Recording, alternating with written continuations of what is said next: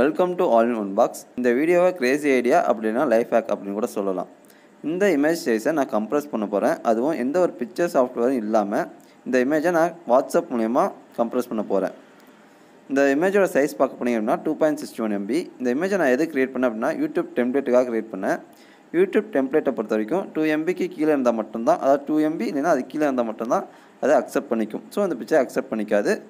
So இப்போ நான் WhatsApp மூலியமாகவே இந்த பிக்சரை நான் கம்ப்ரஸ் பண்ண போகிறேன் ஓகேவா ஸோ அதுக்கு நீங்கள் ஃபஸ்ட் என்ன பண்ணணும் அப்படின்னா வாட்ஸ்அப்பில் இதை நம்ம ஸ்டேட்டஸாக வைக்கணும். நான் இப்போ இந்த பிக்சரை வாட்ஸ்அப்பில் ஸ்டேட்டஸாக வைக்க போகிறேன் வச்சுட்டேன். இப்போ வாட்ஸ்அப் ஸ்டேட்டஸில் போய் பார்த்தா இந்த பிக்சர் என்னோடய ஸ்டேட்டஸில் வந்துட்டு. இப்போ ஃபைல் மேனேஜர் ஓப்பன் பண்ணி வாட்ஸ்அப் ஃபோல்டருக்குள்ளே போயிட்டு மீடியா ஃபோல்டருக்குள்ளே போயிட்டு வாட்ஸ்அப் இமேஜ் ஃபோல்டருக்குள்ளே போயிட்டு சென்ட் ஐட்டத்துக்குள்ளே போனீங்க அப்படின்னா நீங்கள் வாட்ஸ்அப்பில் ஸ்டேட்டஸாக வச்ச இமேஜ் இங்கே கம்ப்ரஸ் ஆகி வந்துடும் இப்போ இந்த இமேஜோட சைஸ் பார்க்க போனீங்க அப்படின்னா thirty three point twenty seven KB தான். அதாவது இரு டூ பாயிண்ட் சிக்ஸ்டி ஒன் எம்பியாக இருந்த ஃபைல் சைஸ் இப்போ thirty two point twenty seven கேபியாக compress ஆகிட்டு அதுவும் எந்த ஒரு குவாலிட்டி லாஸும் இல்லாமல் கம்ப்ரஸ் ஆகிருக்கு ஸோ நீங்கள் இதை உங்களோட யூடியூப் டெம்ப்ளேட்டாக வச்சா கூட உங்களுக்கு எந்த ஒரு குவாலிட்டி லாஸும் இருக்காது. உங்களுக்கு எப்பவும் போல் கிளியராகவே இருக்கும். உங்களுடைய சப்ஸ்கிரைபர்ஸுக்கு எந்த ஒரு கிளாரிட்டி டீட்டெயில்ஸ் லாஸ் ஆனதும் தெரியாது.